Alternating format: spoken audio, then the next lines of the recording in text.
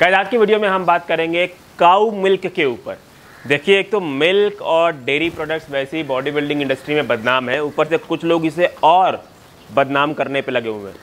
पिछले कुछ टाइम से आ, मेरे यूट्यूब चैनल पे और मेरे इंस्टाग्राम प्लेटफॉर्म पे लोग मुझसे क्वेश्चन पूछ रहे हैं कि सर क्या दूध और डेयरी प्रोडक्ट्स ही एकमात्र ऐसा रीज़न है जिसकी वजह से हम फैट लॉस नहीं कर पा रहे हैं? तो ऐसे ऐसे क्वेश्चन जो है मेरे पास आ रहे हैं। सबसे पहले मैं आप लोगों को एक एडवाइस देना चाहूँगा। देखिए यूट्यूब पे आप किसी की भी बात का भरोसा ना माने। इनफैक्ट मेरी भी बात का भरोसा आप ना माने। अगर आपको किसी चीज़ पे यकीन करना है तो वो है साइंटिफिक रिसर्चेस क्योंकि जो साइंटिफिक रिसर्चेस होती है ना, वो कभी झूठ नहीं बोलती और कंप्लीटली अनबायस्ड रहती हैं। इसीलिए आज के वीडियो में मैं आप लोगों को तीन पॉइंट्स के थ्रू तीन साइंटिफिक रिसर्चर्स के पॉइंट के थ्रू ये एक्सप्लेन करूँगा कि क्या दूध cow milk body building industry के लिए बुरा है या नहीं? सबसे पहले पॉइंट में हम बात करेंगे कि क्या काउ मिल्क पीने से आप में मसल मास बढ़ता है या नहीं? तो देखिए, जो काउ मिल्क होता है, उसमें दो तरीके के प्रोटीन पाए जाते हैं, जिसे हम वे प्रोटीन और केसिन प्रोटीन बोलते हैं।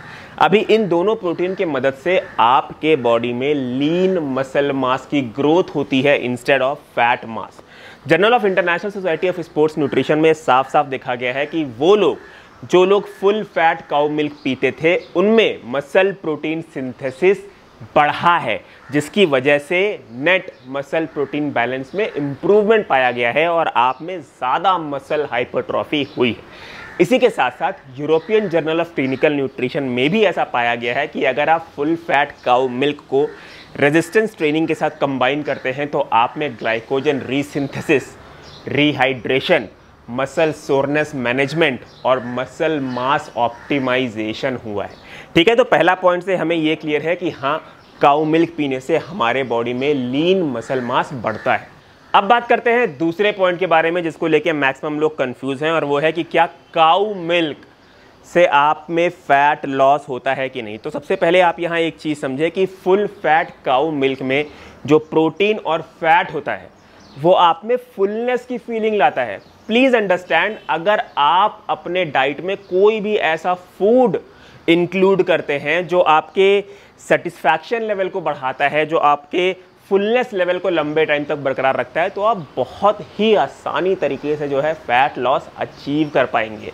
इनफैक्ट अगर हम बात करें रिसर्चेस की तो जर्नल ऑफ़ न्यूट्रिएंट्स जो कि रिसर्च का गोल्ड स्टैंडर्ड है, उसमें मौजूद एक मेटा एनालिसिस के अकॉर्डिंग अगर आप एक कैलोरी रिस्ट्रिक्टेड डाइट फॉलो कर रहे हैं और उसमें फुल फैट मिल्क इंक्लूड कर रहे हैं full fat cow milk include कर रहे हैं तो ये आप में फैट लॉस तो करता ही है, पर फैट लॉस के साथ साथ ये आप में मसल लॉस को भी प्रिवेंट करता है।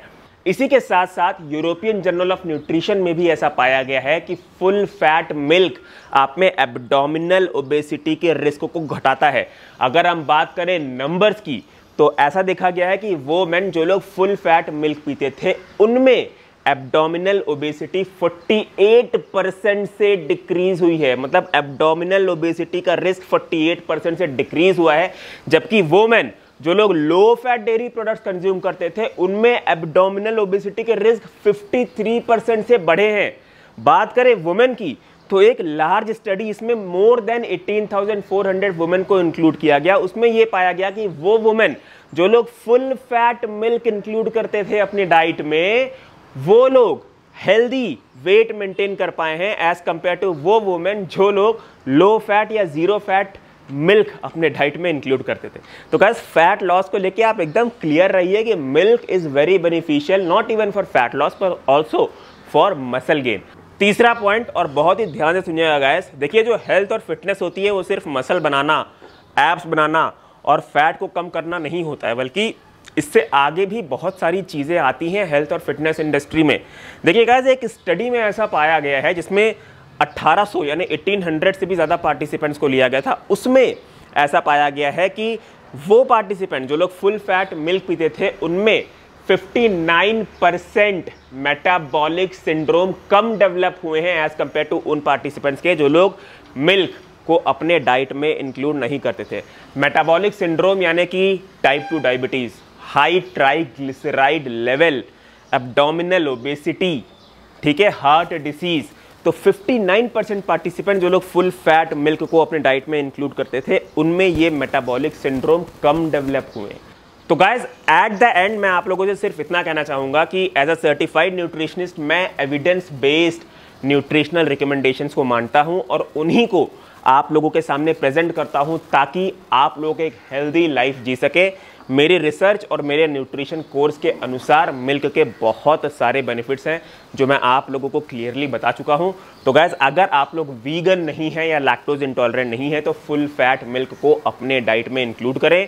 और एक चीज़ और सैचुरेटेड फैट मिथ के ऊपर डाइटरी कोलेस्ट्रॉल मिथ के ऊपर मैं एक बहुत ही डिटेल्ड वीडियो बना चुका हूँ, जिनमें इन मिथ्स को बहुत अच्छी तरीके से बस्ट किया हूँ। उनके थंबनेल्स आप लोगों को मेरे स्क्रीन पर दिख रहे होंगे। अगर आप लोगों को वो वीडियो देखने हैं तो डिस्क्रिप्शन बॉक्स में उसकी लिंक है।